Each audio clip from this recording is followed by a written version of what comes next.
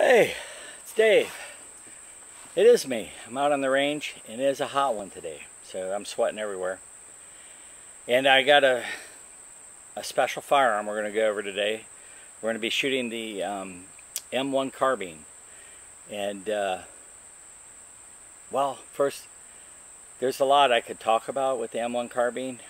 Um, I'll just say online there's tons of information about it the things to understand, I think, that are important to know that this this firearm has been in service from 1942 to 1973 in the military. That gives a testimony to its durability.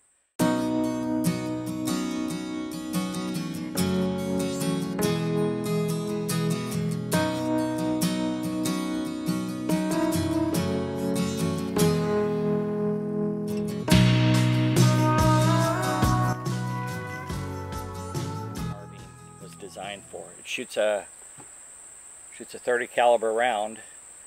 It's it's not like super impressive, but its firepower is pretty impressive. It leaves the muzzle at almost 2,000 feet per second.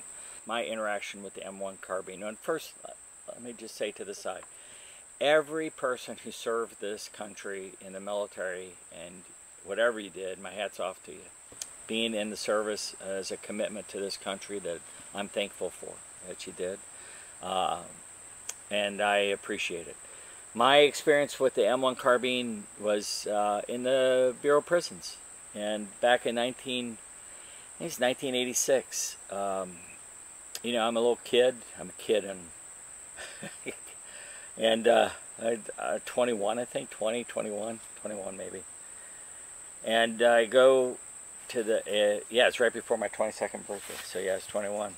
I go in and I'm doing my two weeks of introduction to the Bureau of Prisons before I start my job back in Federal Prison Industries. And um, I'm learning that, you know, every position within the prison is correctional officer first. And so those are your responsibilities. And it's a real deal. And um, the last two days of the training, one is spent on the, half a day is on the range and half a day is doing um, talking about what to do if you have to um, conflict with an inmate. Um, giving you some basic ideas. Nothing like super training. That happens at Glynco in that regard. But it was basics. Uh, but the firearm, you had to qualify or you couldn't, you couldn't hold a position because they might need you on the tower or whatever. And so the weapons you qualified with, I went over this when I was talking about the, um, the revolver, the um, Smith & Wesson Model 64. But uh, this was one of the weapons, the uh, carbine, the M1 carbine.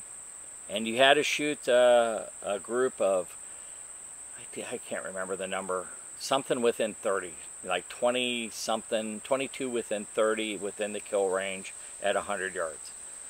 And so, um, so I get to go out there. It's January and it's sleeting and cold and I'm not having a great, I'm not really enjoying the day a whole lot until I get the opportunity to shoot this rifle.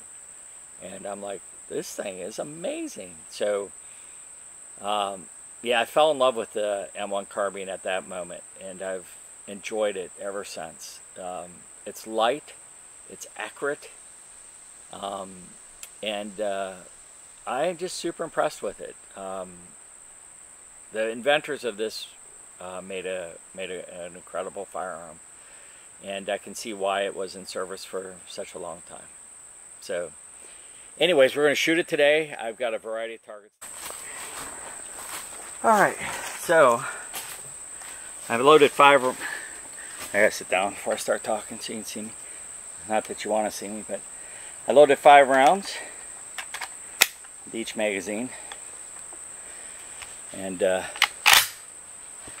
let's see what we can do down tar down range on the on the paper target.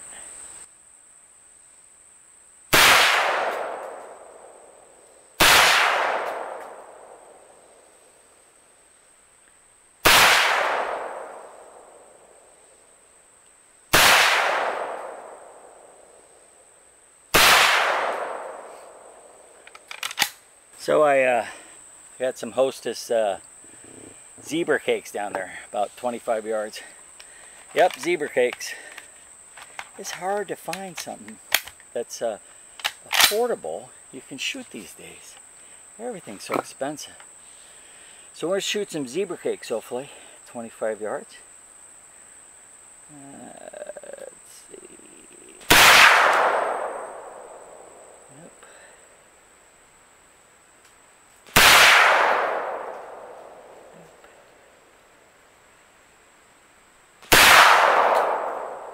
I got one.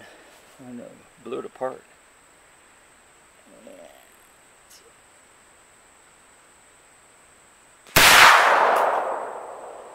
We got that one. And let's see if we can get one more.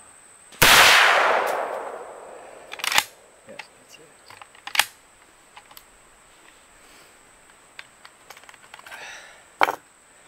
Alright. Now we're going to shoot it at uh, oatmeal pies and zebra cakes. Let's see how well we do.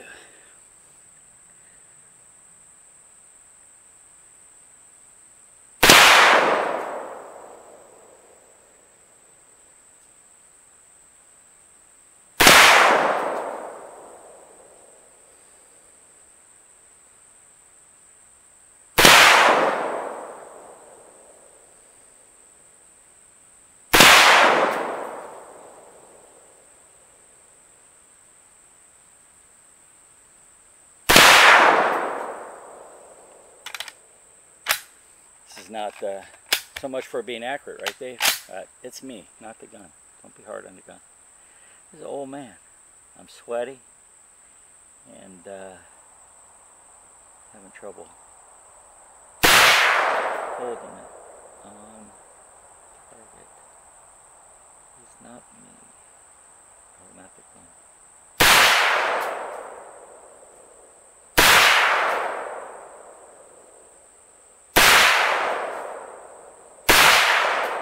That blew something apart.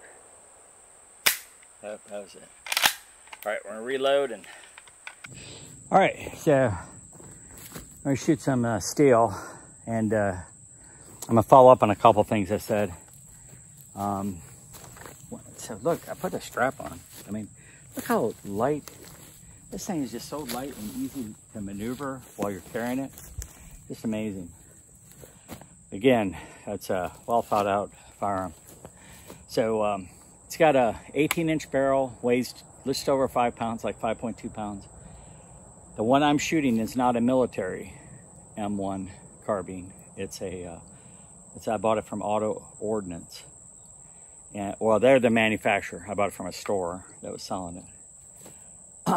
but it's the same specs. So it's, you know, the purists will say it's not a real, it's not real, it's a copy. And I get that, but it's the same specs. And so it's a, to me, it shoots and feels just like an M1 carbine. And, uh, and so that's, yeah, that's part of it. I looked at the military ones and, uh, you know, they're just almost double the price. So I go with the cheaper chicken. That's my nature.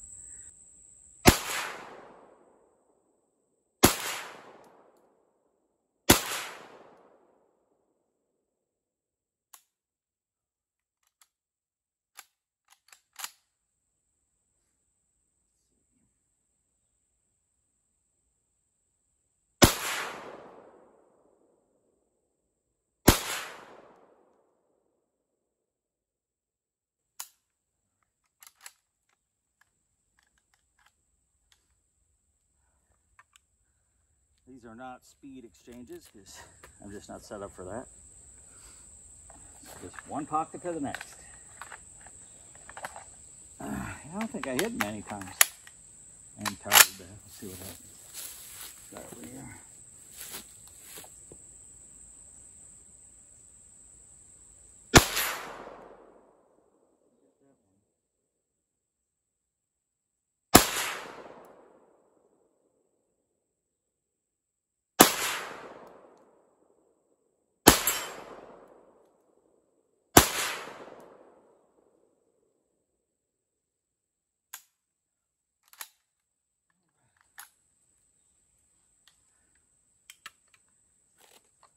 Definitely don't tune in to me to see the best shooting in the world.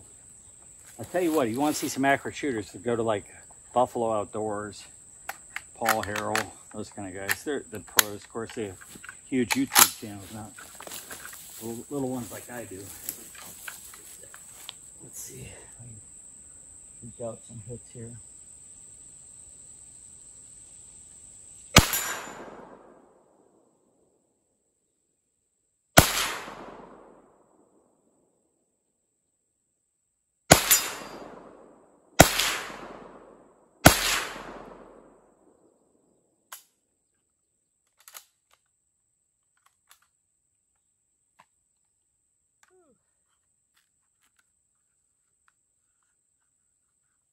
Came, uh, you could get a version called the M2, came out later.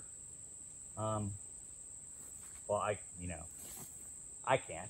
The military had a version, I should say. That's the right way to phrase it. Called the M2, and it would, uh, you could go from semi to fully auto. That was what the, what it did.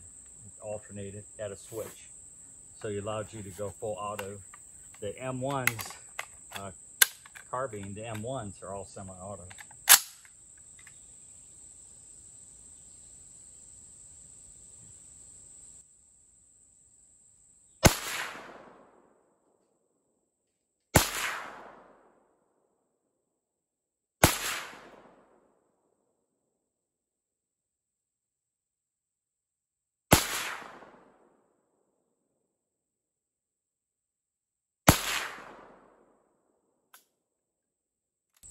All right, I loaded 10 more. I'm just gonna shoot at that steel target off here to your right. I'm gonna do it standing up and see how good I do. I'm not shooting so well right now. I think it's because I'm tired. And I'm not talking to you. I'm not shooting so well because I think I'm tired. But uh, that's no excuse really. Yeah. Anyways, let's see what we can do. The heat wears on you, I can tell you that. All right, got that.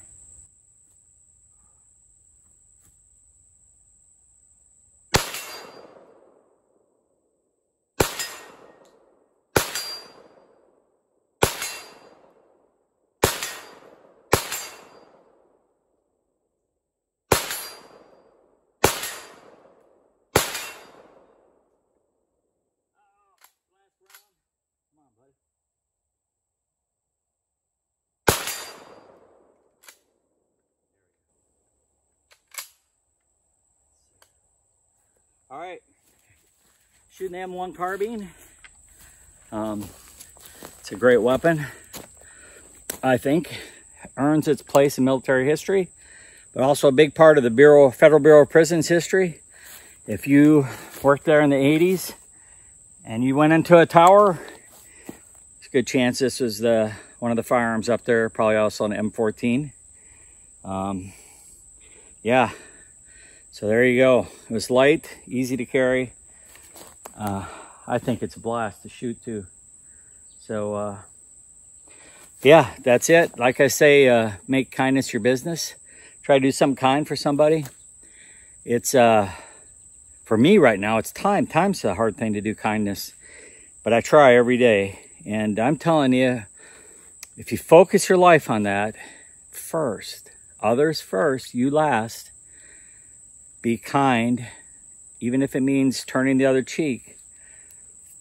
In the long run, it's better. And does it make you weaker? No. I think it's stronger. I think you're a stronger person. So, anyway, I hope you enjoyed it. Sorry I wasn't as accurate as I could be. It is hot out here. No excuse, I guess. Everybody had to shoot in the heat too. Um, think about what they went through in the Pacific Islands. It's just amazing. And my heart goes out to them.